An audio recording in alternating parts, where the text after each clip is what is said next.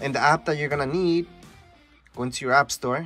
And if you don't already have this app installed, it's called Find My. So just look for it. It's by Apple, so Apple made this app. It used to be called something else before.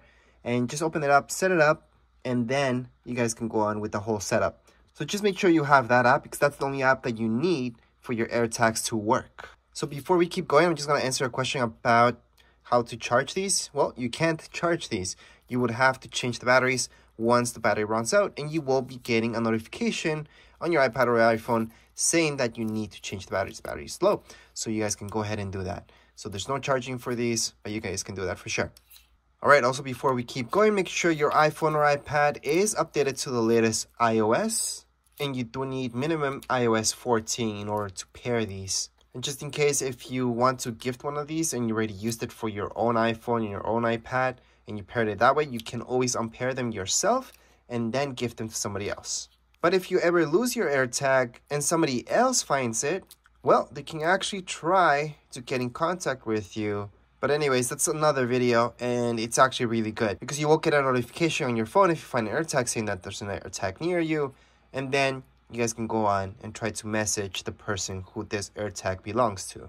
Anyways, if you bought a few air tags, you have to do one at a time. So we're just gonna set up one at a time. So here's the air tag. All we have to do is just take out the wrapping.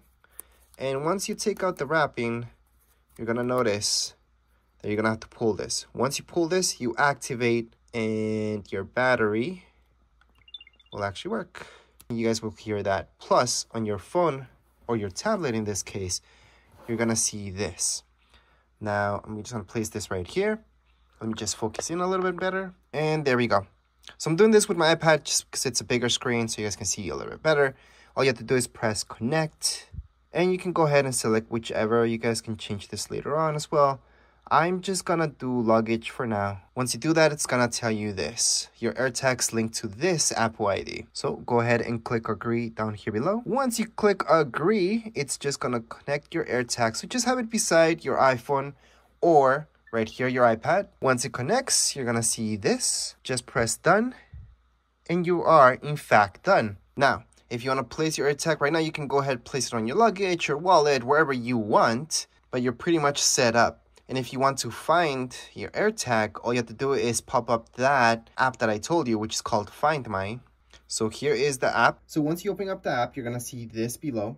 It's to tell you people, devices, items. In this case, this AirTag is an item and it's going to be called whatever you selected. So I selected luggage, so it's going to give me that name. So let's just tap on it. And once I tap on it, it's going to show me the map where it is. Right now, it knows that it's with me but I can also tap on it. And once I do that, I can see this, play sound. So you can play sound to hear it where it is and identify it, find it, or just get directions. If I scroll down, I'm gonna see lost mode. You can enable that as well. And we can also rename item and remove item.